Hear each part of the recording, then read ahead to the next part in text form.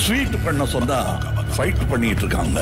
Big pass ரசிகர்கள் ரொம்பவே எதிர்பார்த்துக்கிட்டு இருந்த இன்னி எப்போவுமே ரொம்ப லேட்டாக தான் விட்டாங்க. அதில் கமல்ஹாசன் வந்ததுமே ரொம்ப ஹாஷாக பேசுகிறாரு எப்படின்னா உங்களை நான் ஸ்வீட் கடை வச்சா நீங்கள் ஸ்வீட் பண்ண சொன்னால் நீங்கள் ஃபைட் பண்ணிக்கிட்டு இருக்கீங்க அப்படின்ட்டு ரொம்ப டைமிங் ரைமிங்கோட பேசிக்கிட்டு இருந்தார்.